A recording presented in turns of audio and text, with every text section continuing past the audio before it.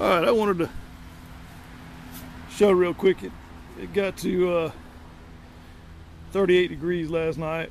It's going to be a winter even in Florida. I mean, you know. But uh, a couple things I wanted to show before I even take this lid off. My big flow through outside, I got a uh, three quarter inch foam lid on it. And the doors down at the bottom of my bin that I can close off I also have some foam inserts that I can put in the bottom holes to make this whole big bin like a uh, a uh, ice cooler which basically you can hold in heat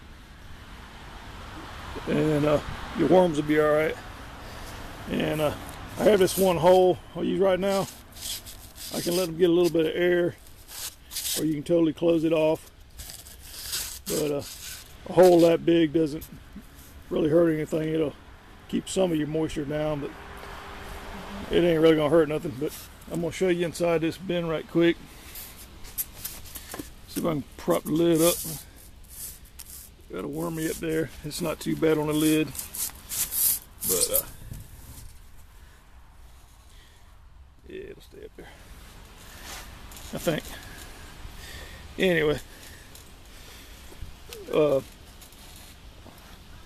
kind of a bad glare here, but one of the ways that you can heat these bins, if you can get that coffee from Starbucks, if you see this coffee I got here, it's sitting on the top, but some of the bottom of the coffee right now can hot compost, but the top will dry out and it'll stay pretty cool. And it's, but to uh, reactivate this, you could even, if you needed more heat, you can cover it over and then add water up and it'll start heating up your bin. But the trick is, you know, adjusting your vents and stuff to keep the exact right temperature you want. And if you need more heat, you add uh, some coffee to another spot. But I've got, I don't know, probably five thermometers. I got three in here right now, but if you look right here, it's, I don't know, it's, I think it's about 72. It's right by this coffee you could actually bury this coffee and easily get it up to way over 100 degrees. And uh, the worms can work their way out. If you look right here, it's, yeah, let's see. Probably about 72. This right here look like, let's see, I'd say 74. But uh, you can just keep checking on it and uh, I got some isopods in here. If you get on, in fact, let me go back over here. You look like underneath your bread and stuff, they'll hang out. But they're working the top. And uh, I'll show you some of my isopods.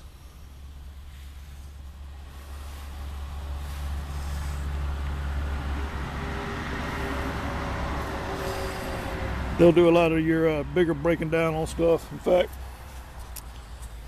Here's some of my junk mail. It's not even shredded, just throw it in there. You can see they're already eating it while it's laying on top. The worms will get it from the bottom. You don't even have to shred paper if you don't want to. I mean, just depends on how fast you want it to break down. But uh, some of this bread, I mean, it's not real wet yet. And other pieces, it's going to have some worms eating on it. You can see the worms eating that piece of bread right there. But they're really doing some action down below. I got a bunch of old rotten lettuce and stuff in here. And uh, but main thing I was making this video for is just to show you that I don't even have my uh, heating cable plugged in, in here. I'm hoping not to even use it this winter. In emergency, I can put it in here and your worms will be right. But like I say, dude, different worms, if you got these big bins, they can uh, seek out their optimum temperature range and you don't have to worry about it. They'll just move on around. But uh, see if I can grab a handful here. See, there's some worms right here. You can see I got plenty of worms in there. But uh, I'm fixing to go ahead and add some more stuff to the top of this thing. they're uh, working the compost real good. I don't know if you can see a lot of the stuff even on the top's already broke down. There's a bunch of castings in there. Sorry about all the glare, but it's right where the sun is shooting down right now. But uh, if I wouldn't have just took this lid off, these worms would have dove down a bit to avoid this uh, sunlight. Here's a cup holder. Let's see what's going on there.